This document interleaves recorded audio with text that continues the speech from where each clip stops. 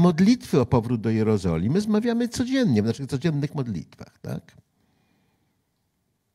Nie było politycznych możliwości dla tego powrotu aż do XX wieku. I w międzyczasie oczywiście na ziemiach, które były ziemią Izraela, zamieszkali inni, że mają do tej ziemi pełne prawo, tyle że Żydzi się swojego prawa nie zrzekli.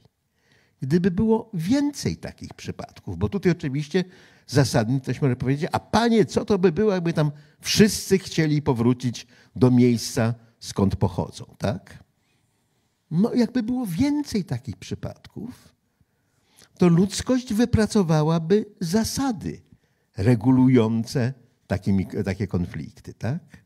Jakie prawa mają powracający, jakie prawa mają ci, którzy tam mieszkają, bo to, że myśmy się przez prawie 2000 lat nie wyrzekli, w niczym nie umniejsza praw innych, tak? którzy tam przez te 2000 lat mieszkali.